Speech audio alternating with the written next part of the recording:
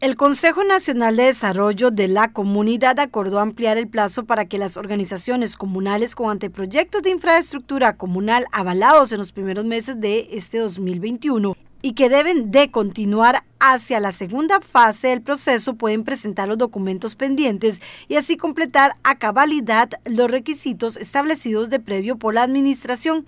El plazo máximo para la presentación de los mismos será el 13 de agosto y la extensión se acuerda acatando las solicitudes realizadas ante el Consejo Nacional por las organizaciones comunales de desarrollo, acuerdo tomado en la sesión ordinaria del 12 de julio y consta en el acta 020-2021.